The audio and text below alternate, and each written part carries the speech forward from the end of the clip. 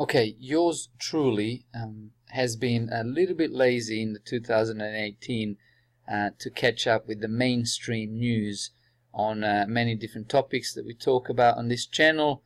Now, um, this topic has been talked about a lot. Um, in my workplace, uh, half of the place is actually deeply involved uh, in uh, cryptos. Uh, fair enough. it sounds very good. Um, this is the first video I'm going to actually just make off the cuff. Um, I saw this title on the business. The taxman is coming after cryptocurrency cheats. Now, you can all imagine what that's about. I have not even watched it. It's a 4 minute 46 second video uh, that I haven't watched, which is why I'm making this video off the cuff. We're just going to play it after I have my little thought on cryptocurrencies and I'm not going to say anything that you haven't heard before.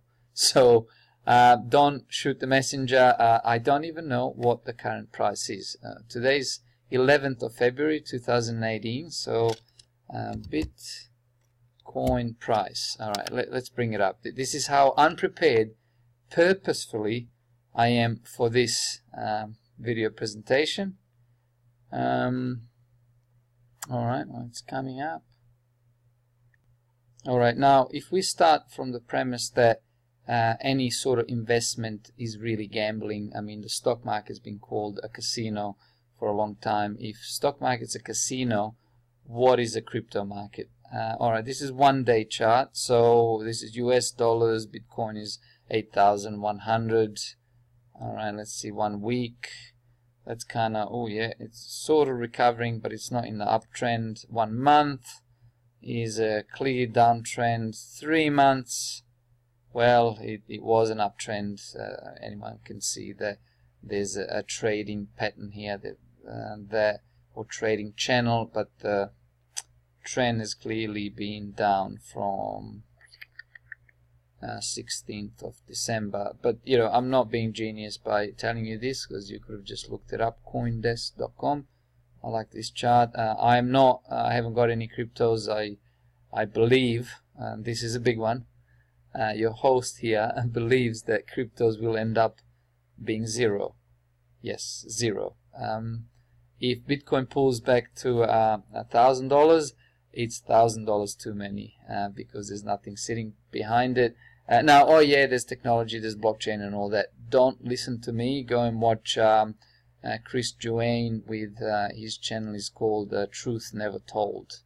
Uh, I, I, know he sells uh, silver, so he's a little bit biased, but I mean he's made so many good points that I would just not even come close to it. So, um, uh, but then again, you can listen to someone else who will make very good points why um, you know Bitcoin will end up at hundred thousand dollars or or hundred million dollars a Bitcoin. Um, so, but this is just my opinion.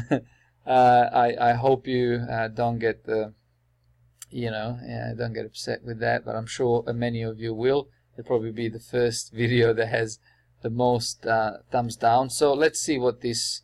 Uh, this is obviously one of the those problems. The taxman is coming after cryptocurrency cheats. Uh, this is the end game or the beginning of the end game because the government will want to put the hand in, uh, and if people can't pay up, then the confidence is going to be lost and the next thing you know, maybe there's uh, some sort of attack and they accuse some sort of Muslim terrorists. Uh, and next thing you know, oh, he was funded using cryptocurrency, Bitcoin, and now, you know, if the government couldn't actually get money out of it, they'll just ban it and they'll come up with their own.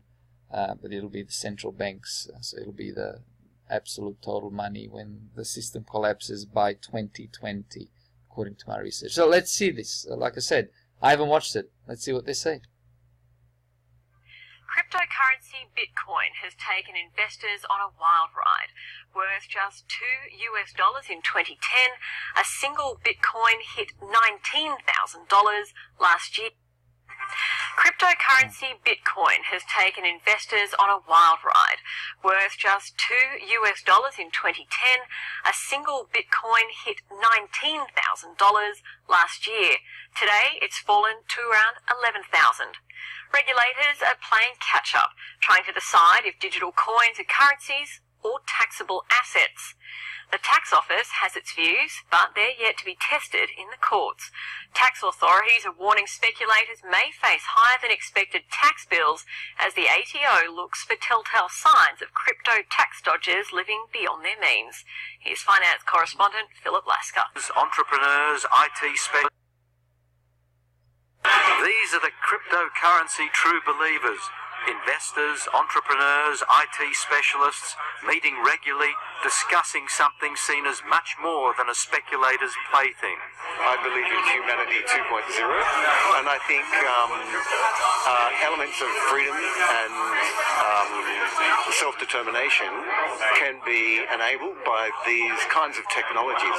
Us older gentlemen on this particular little session here, we think it's mad, but it's actually, this is just the normal pace now now of innovation. And blockchains allow this uh, iteration of, of innovation to accelerate.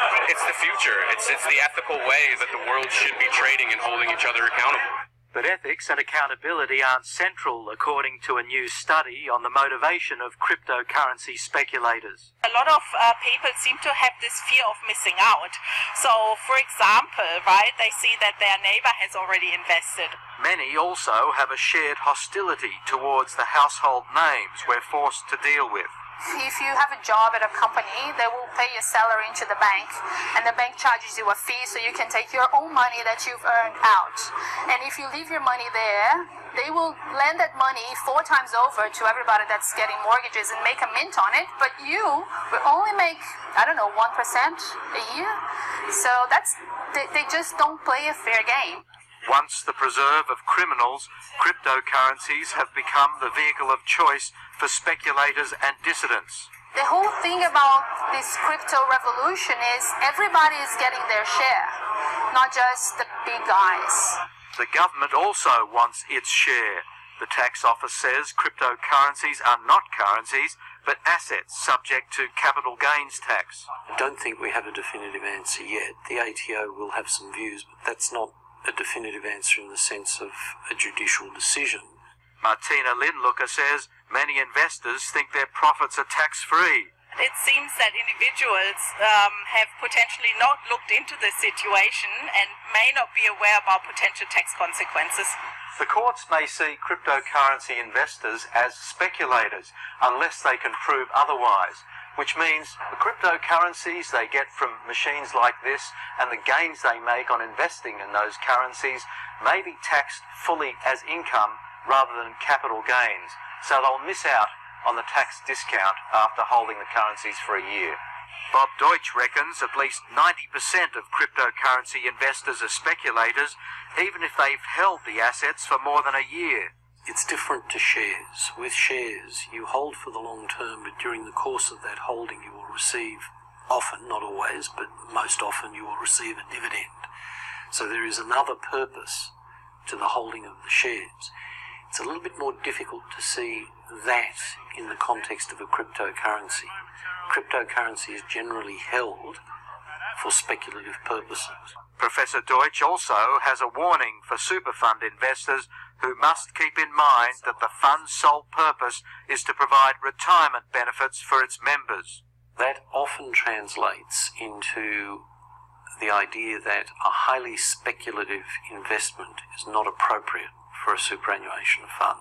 The tax office says be sure to keep good records of your intentions, cryptocurrency transactions, and who received the payments, which Adriana does. I grew up in Brazil.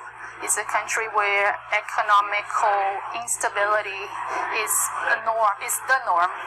So having the option of using a currency that it's not affected by the government is a good thing. Too much of a good thing, it seems, for governments to remain on the sidelines. All right. Well, um, if you do care what I think about uh, Bitcoin, I and the cryptocurrencies. Uh, I hope you enjoyed this. Uh, I do encourage you to look up um, a tulip bubble and also a South Sea company bubble.